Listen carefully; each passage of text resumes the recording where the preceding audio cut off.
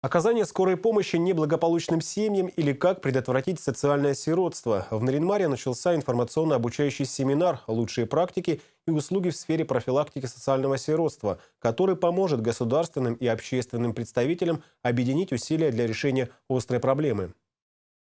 Социальное сиротство – одна из важнейших проблем России. Оно возникло из-за растущего уровня алкоголизма среди родителей и наркомании. Многие матери еще в роддоме отказываются от своих детей. Зачастую родителей алкоголиков или людей с судимостью лишают родительских прав. Отсюда и возникло так называемое социальное сиротство – дети-сироты при живых родителях.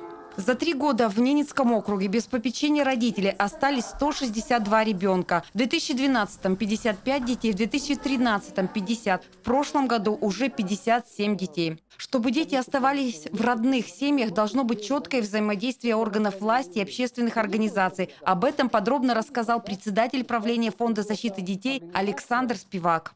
Мы говорим о, о лучших практиках и услугах в сфере профилактики социального сиротства и о взаимодействии государственных э, органов и учреждений с общественными и некоммерческими организациями в этой сфере. То есть предмет нашего разговора – это э, как предотвращать социальное сиротство детей, как работать с семьей с тем, чтобы не допускать э, лишения родительских прав, и как в этой работе могут объединить свои усилия э, профессионалы, работающие в государстве, и представители общественного сектора.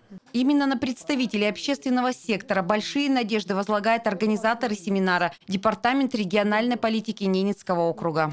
К сожалению, на территории Ненецкого автономного округа у нас нет активно действующих некоммерческих организаций, которые бы занимались работой с детьми-инвалидами, с детьми-сиротами. Не потому, что у нас нет такой проблемы, а ведь даже если один ребенок стал сиротой, это уже трагедия. Мы очень надеемся, что после этого семинара у нас, ну пусть если не появятся такие организации, хотя это очень бы хотелось, а, по крайней мере, существующие организации обратили бы внимание на данное направление и начали им заниматься.